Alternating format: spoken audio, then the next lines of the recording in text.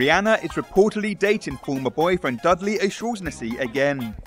The Diamond hitmaker, who was previously in an on off relationship with Chris Brown, has rekindled her romance with the British model, who she first dated after shooting her We Found Love video in 2011.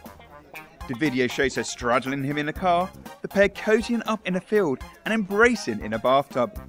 As source said, Rihanna and Dudley were really keen on one another when they were an item a couple of years ago. They had a really good time together and ended things amicably. Travelling got in the way. It's been easy for them to rekindle their romance and take things from where they left off. They are not looking for anything serious, but the connection is still there, the source added. She goes to weeks on her knees for him, is crazy for his accent, and only has good things to say about him. Rihanna has been keeping her options open. The source also explained, and there's no question of how smitten he is.